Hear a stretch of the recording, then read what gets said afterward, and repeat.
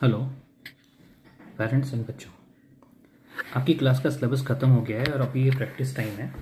तो प्रैक्टिस के थ्रू ही जो है थोड़ा सा हम लोग अपने आप को कॉन्सेप्ट में एक्सेल कर सकते हैं अच्छा परफॉर्म कर सकते हैं। तो इस प्रैक्टिस के लिए पाठशाला की तरफ़ से एक प्रैक्टिस पोर्टल डेवलप करवाया गया है। दैट इज़ इसका यूआरएल आपको नीचे लिखा दिख रहा होगा स्क्रीन पे। ई प्रैक्टिस डॉट दी पाठशाला डॉट नेट ठीक है? आपको इसमें लॉगिन करने के लिए यूज़र आईडी पासवर्ड लगेगा जो आपको दिया जाएगा। कैसे यूज़ करेंगे, आइए बताते हैं। थैंक यू आप कोई भी इंटरनेट ब्राउज़र में ये साइट ओपन करिए e practice dot the parcelo dot net click करिए।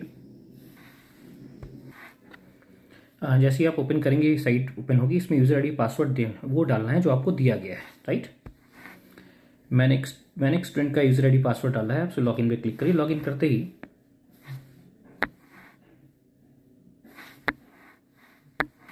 इस प्रकार से एक पोर्टल ओपन होगा। यहाँ पे आपके जो सब्जेक्ट आपको, आप लिए हैं, वो यहाँ पे नज़र आएँगे।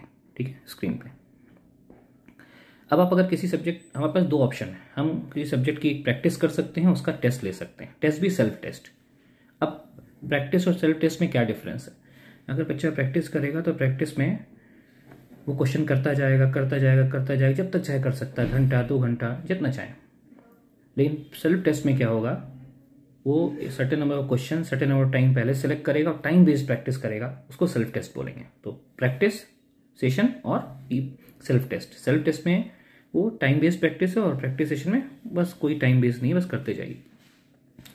मान लीजिए कोई स्टूडेंट टेस्ट करना चाहता तो ये यहाँ पे जाएँगे ऑप्शंस में। यहाँ प्रैक्टिस का ऑप्शन आएगा प्रैक्टिस फ़ोन पे यूज़ करेंगे तो प्रैक्टिस का ऑप्शन यहाँ आएगा और अगर फ़ोन पे नहीं करेंगे लैपटॉप पे करेंगे तो वहाँ दूसरे साइड में प्रैक्टिस का ऑप्शन आएगा। प्रैक्टिस पे क्लिक करिए। यहाँ टॉप में आपके सब्जेक्ट डिस्प्ले हो रहे होंगे, अपने सब्जेक्ट चूज़ कर ली किस सब्जेक्ट की प्रैक्टिस करना चाहते हैं। मान लो मेंटल एबिलिटी की प्रैक्टिस करना चाहते हैं। या कोई सब्जेक्ट ऑफ़ योर चॉइस जो आपकी क्लास के हैं। तो मेंटल एबिलिटी में कितने सारे सेक्शन हैं, इनमें किस सेक्शन की प्रैक्टिस करें? सपोज़ हमें डिस्टेंस एंड डायरेक्शन क्लासिफिकेशन और पजल और वेन डायग्राम इन चार टाइप की प्रैक्टिस हमें करनी, चारों को सिलेक्ट कर लीजिए ऐसे। और सिलेक्ट करने का चारों टिक आ गया, चारों सिलेक्ट हो गया, बच्चों सीधे स्टार्ट प्रैक्टिस पे क्लिक करिए ऊपर, आपकी मेंटल एबिलिटी की प्रैक्टिस शुरू हो जाएगी। देखिए। अच्छा स्क्रीन को रोटेट करने को बोले स्क्रीन को रोटेट कर दीजिएगा ऐसे, ताकि क्वेश्चन को आप सही से देख पाए राइट इस टाइप से। और ये क्वेश्चन आम रहा है क्वेश्चन आप पढ़ लीजिए, इसका आंसर देख लीजिए, फिर आंसर मार्क कर दीजिए नीचे। ए बी सी डी में क्या करेक्ट मान लो हमने ए मार्क किया और सबमिट कर दीजिए। ए, गलत हो गया। अब गलत होने पर तुरंत बच्चे के दिमाग में आता भाई, ठीक है, हम एक बार और ट्राई करते हैं। लेकिन ट्राई करने से पहले कॉन्सेप्ट तो पता होना चाहिए ना। तो देखिए, बगल में ऑप्शन आ रहा है व्यू कॉन्सेप्ट तो आपके पास ऑप्शन है कि आप यहाँ पे कॉन्सेप्ट देख लें पहले और फिर अगेन ट्राई कर लें। आपको दो अटेम्प्ट मिलेंगे ट्राई करने के एक बार गलत होगी एक और अटेम्प्ट मिलेगा। अगर एक दूसरे अटेम्प्ट में नहीं सही हुआ तो ये आपको क्या करेगा? सोल्यूशन डिस्प्ले कर देगा। सपोज़ हम पहले कॉन्सेप्ट देख लेते हैं कि भाई क्वेश्चन कैसे होता है। इससे रिलेटेड कॉन्सेप्ट ये आ गया कि पूरा कॉन्सेप्ट डिस्प्ले कर दिया। जो क्वेश्चन उससे related concept concept one concept two इससे रिलेटेड कॉन्सेप्ट क्या था? कॉन्सेप्ट एक बार पढ़ लीजिए। और आपको लगता है कि हाँ अब हम एक और ट्राई दे सकते हैं ट्राई अगेन क्लिक कर दीजिए। इस बार भी अगर आपका आंसर सही नहीं हुआ, फिर आपको तीसरा ऑप्शन नहीं मिलेगा। चलिए इस बार आपने ऑप्शन मान लीजिए बी मार दिया। सबमिट फिर गलत हो गया। अब ऑप्शन नहीं देगा, सीधे सोल्यूशन डिस्प्ले कर देगा। देखिए। इसका क्या सोल्यूशन है? कॉन्सेप्ट भी देखिए सोल्यूशन भी देखिए। तो बहुत ब्यूटी क्या है इसकी? कि कंसेप्ट और सोल्यूशन दोनों आपको दिखाएगा।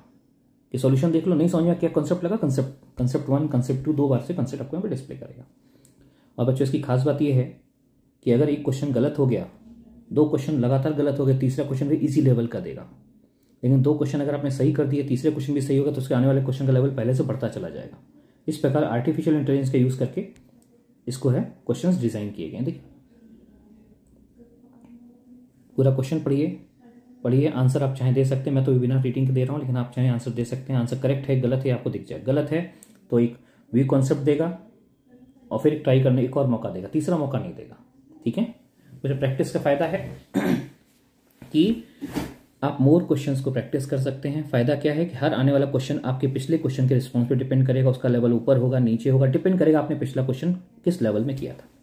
ठीक है? और जब क्वेश्चन कर लें आप तो यहाँ से सबमिट कर दीजिए। एंड नाउ सेशन को एंड कर दीजिए। एंड करने के बाद आपका रिज़ल्ट आपको डिस्प्ले करा देगा। ये देखिए कि आपने कितने क्वेश्चन स्किप किए, कैसे किए, किया पूरा मैट्रिक्स दिखाएगा। राइट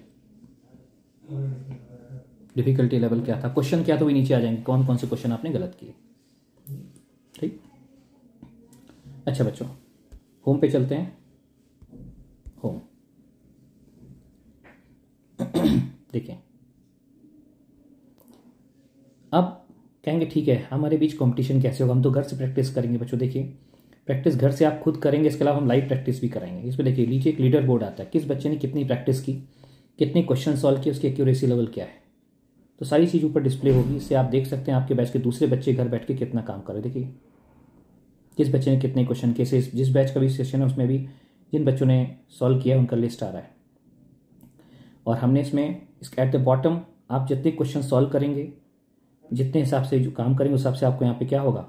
रिवॉर्ड पॉइंट भी मिलते जाएँगे। सेल्फ टेस्ट के रिवॉर्ड पॉइंट कितने प्रैक्टिस सेशन के रिवॉर्ड पॉइंट कितने सब चीज़ें आपको हमें मिलेंगी। और बच्चों, हमने प्लान किया है कि जो बच्चे अच्छे प्रैक्टिस करेंगे, उनका एक्यूरेसी लेवल लेवल हाई होगा या नंबर ऑफ़ क्वेश्चन अटेम्प्टेड ज़्यादा होंगे, दोनों टाइप के बच्चों को हम लोग रिवॉर्ड करेंगे हर फिफ्टीन डेज़ पे। ठीक है? उनकी क्लास में रिवॉर्ड किया जाएगा और उनको जो है फैसिलिटेट किया जाएगा। राइट बच्चों? सो कीप प्रैक्टिसिंग जितना ज़्यादा प्रैक्टिस हो सके उतनी ज़्यादा प्रैक्टिस करें। कोई भी प्रॉब्लम हो तो आप हमारे एकेडमिक ऑपरेशन टीम से कम संपर्क करें। ठीक है? थैंक यू थैंक यू बच्चों.